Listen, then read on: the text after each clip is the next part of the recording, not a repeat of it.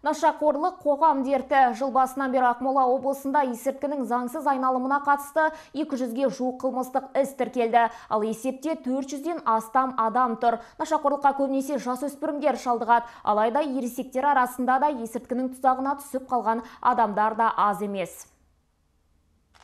Жаңа синтетикалық препараттардың пайда болуы және нарықтағы рекордтық көлемі бүкіл әлемде есірткі мәселесін ушықтырды. Мамандар нашақорлықтың барлық түрлерінің ішінде бірінші орынға апиындық тәуелділікті қояды. Бүгінгі таңда облыстық психикалық денсаулық орталығында 200-ге жуық адам есепте тұр.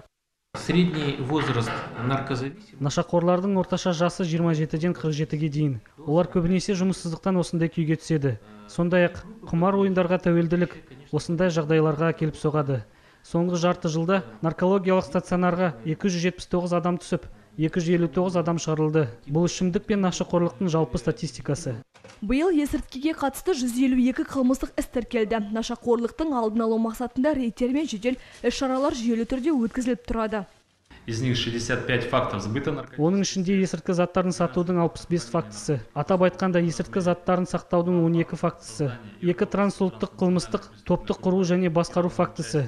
Екі есірткі өсімдіктерін өсіру және бір есірткі заттарды насихаттау және жарнамалау фактілері анықталды. Бұған қоса 70 есірткі қылмысы. Заңсыз айналымнан 78 келіден астам түрлі есірткі заттары тәркіленді. Оның ішінде 59 келі гашиш 4 келіден астам марихуана.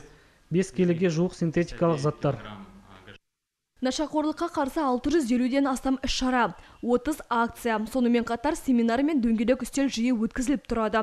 Тіпті жоғары оқу орындарында студенттерге дәріс сабақтары ұйымдастырылады. Лаура Дәулетбек, Зарина Бекқалиева, Бауыржан Смағұлов, Алиша Жакубаев, Көкше ақпарат.